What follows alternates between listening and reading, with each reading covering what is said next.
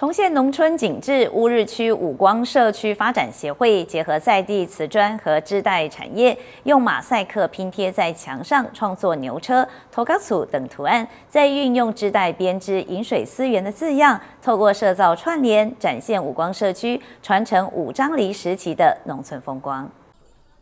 仔细抹上胶泥，再贴上瓷砖。乌日区五光社区发展协会结合在地产业社区营造，用瓷砖在墙上马赛克拼贴，重现过去农村景致。哎，大家一看到马赛克，一定会想到我们五光社区，哈啊，这个也是代表我们五光社区的产业。而且哈，大家会看到很多牛，这也是代表我们五光社区的精神哈，我们都把它当做我们的指标，就是一步一脚印哈，慢慢的走。拿出设计图前后比对，农村土脚错，前方孩子在庭院玩小钢珠，栩栩如生；另一头还有赶家禽、水牛和手压式水泵等，这都是一块又一块的瓷砖拼贴而成。十几位民众合力利用清晨和下班时间挑灯制作，花了一个多月的时间。终于即将完工，这个很麻烦，做这个很麻烦。这个不像说我们随便做一做不行啊，因为这个永远的你就要做漂亮一点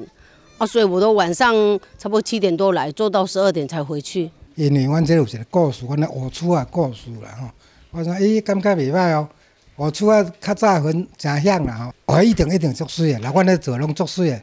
我拢无咧小无小重视，拢一定做甲做完去啊。除了瓷砖拼贴，也结合织带产业，运用织带编织“饮水思源”四字，呼应马赛克拼贴的农村景致，让年轻一辈的孩子能更了解自己的家乡。我是咧做这大，啊，一直想讲，阮已经做到安尼，爱有一个产业吼，啊，所以讲，该想讲来做一寡只，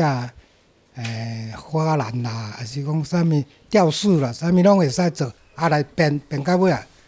产生一个产业。从画设计图到瓷砖拼贴，再加入织带元素，居民化身艺术家，齐心协力完成。透过设造串联，了解五光社区承载着武装犁时期的农村风光。